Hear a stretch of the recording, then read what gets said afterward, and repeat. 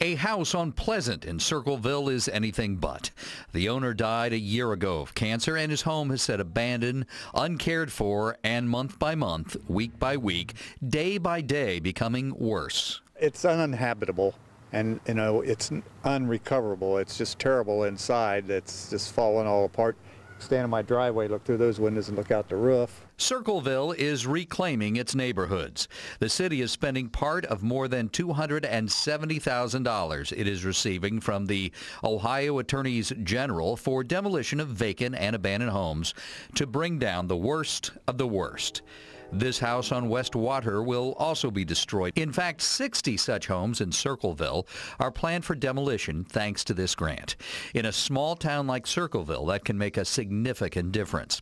A house on East Town has been vacant for so long, no one can remember when someone last lived there. There's been vandals all around the neighborhood, spray painting on it and busting the windows, waking us up at night. Just a bunch of stuff that makes our neighborhood look trashy. Five homes have already been torn down this week. Nearly 50 more are awaiting the wrecking ball. In Circleville, I'm Mike Bowersock, NBC4.